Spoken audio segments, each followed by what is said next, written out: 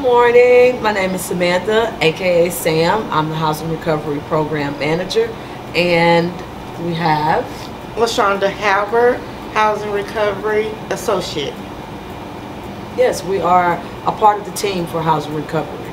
Um, our jobs consist of mainly uh, assisting homeowners who live at or below, mostly below the median income, in rehabbing their properties.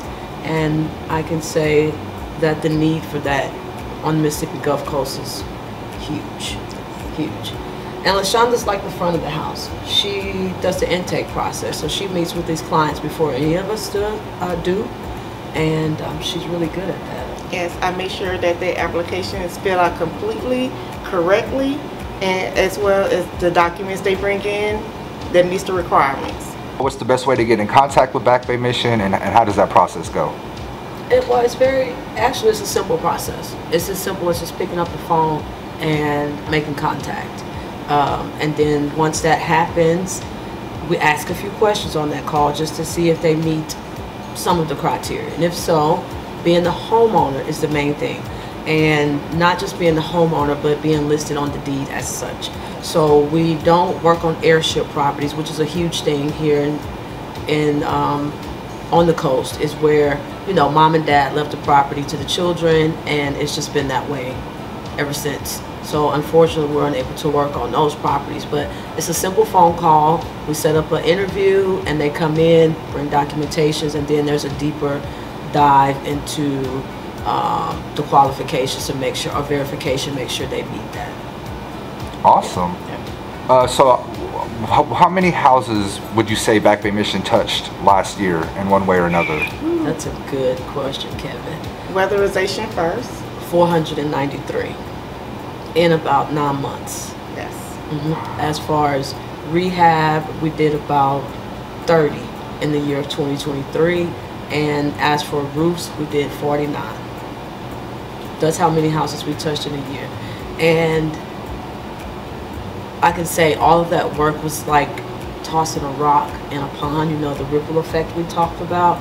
It goes so much further than us just um, affecting the homeowner. We have um, contractors that have that take part in that. We have our staff here that takes part in that. We have the banks that take part in that. So it's a lot of people involved, and it changes lives for more than just the homeowners with that amount of houses we touched last year, there was a lot of hiring that took place. Yes. People attained jobs during that period. So it's huge. It's bigger than just what we see. If I'm watching this video and I'm hearing about all this awesome work, how can I get involved? What, what are some ways that I can get involved as just a regular person? You can contact Back Bay Mission uh, about our volunteer program because I like to say the volunteers are the heartbeat of our program. We couldn't do what we do in this program or at the mission without volunteers. So as a regular person, that would be the first and the biggest thing you could do is just show up and uh, find a place to volunteer. Most of them um, for this program, because our volunteers are from other parts of the state, as far as the mission, we allow um, volunteers locally, but not so much for this program. Um, so they come from all parts of the United States, which is huge. We have a map here that shows all of the different locations of where our volunteers have come from over the years. Well, um, our main goal here is try to stand on our mission statement.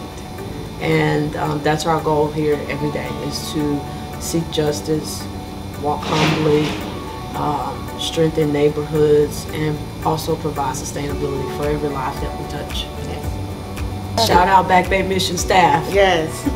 Thank you for joining us on the couch.